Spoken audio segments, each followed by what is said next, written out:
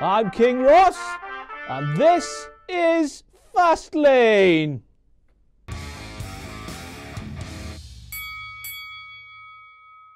How is Michael Cole still on the job? During the pre-show United States Championship match between Kalisto and Alberto Del Rio, Mauro Ranallo stole the show.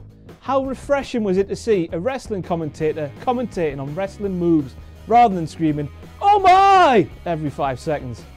Wada! Why did Becky Lynch say that? Is she the new Duchess of Dudleyville?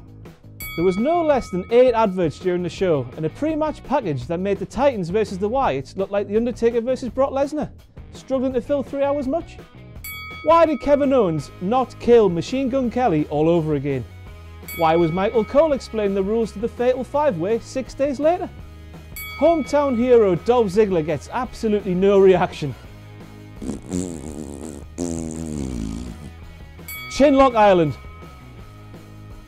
Is JBL a fan of the Young Bucks? A super kick party? You can't be serious, Jeff. How can the WWE Universe still boo the Big Show when he admitted on the Stone Cold podcast that he nearly killed himself? Imagine Dixie Carter's face when she heard AJ Styles' old TNA music on top of the Titans vs Wyatt pre-match package. Ryback is a massive troll. Four sets of CM Punk knees in the corner. Four sets! Big guy, was that really a shell shock? Heel King mode, activate. Brie mode, B-R-I. Learn to spell.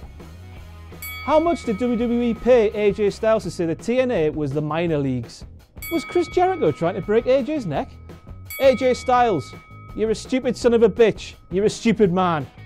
Alright, Chris, what's wrong with you? Tony Chimel, son, you've knocked it out the park.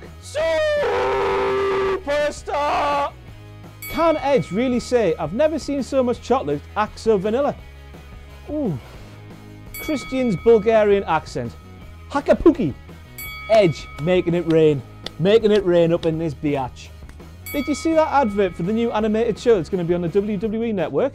Triple H is on, and apparently his dad's called Quadruple H, known more commonly as Quad. So Kevin Nash is Triple H's dad. Hashtag Titus O'Neil is a good man. I think Vince McMahon might beg to differ. Brock Lesnar suplexes two fully grown men. Wow. You know Brock Lobster, the mayor of Seafood City? Well, he came to life in the main event last night. How red was he? So the main event might have been a bit of a blowout last night. But here's Shinsuke Nakamura! Nah, WWE, that's not going to work. I've been King Ross, and you've been my loyal subjects. You can follow me on Twitter at Ross on Wrestling. Please remember to like, share, and subscribe, and I'll see you soon.